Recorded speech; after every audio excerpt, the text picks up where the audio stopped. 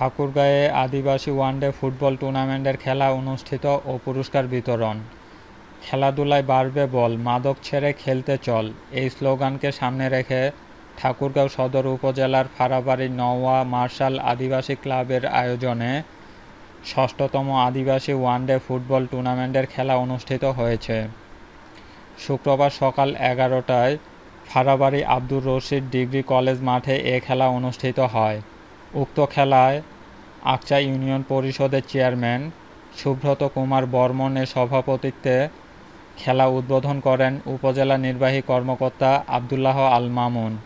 এ খেলায় ঠাকুরগাঁও ও দিনাজপুর জেলার মোট আটটি দল অংশগ্রহণ করেন। আটটি দলের প্রথম রাউন্ড ও দ্বিতীয় রাউন্ড খেলা শেষে শুক্রবার বিকেলে প্রধান অতিথি হিসেবে উপস্থিত থেকে ফাইনাল খেলার উদ্বোধন করেন ঠাকুরগাঁয়ের জেলা প্রশাসক doctor K M Kamruzzaman Selim.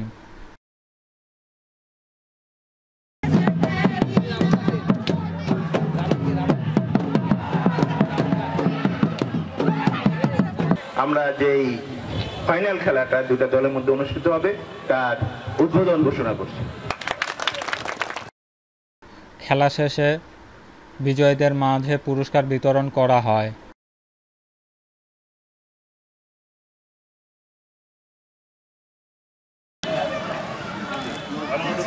Foul না করে হ্যাঁ আর যে সবারই থাকবে, তাই না?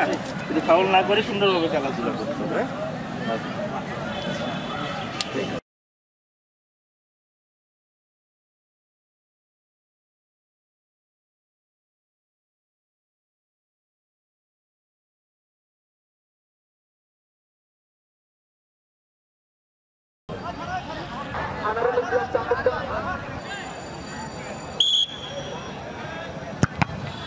খেলা শুরু হয়ে গেছে।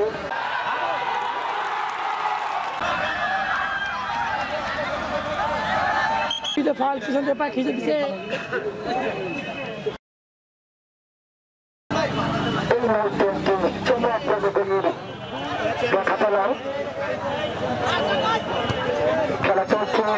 news desk Thakurganj dot net TV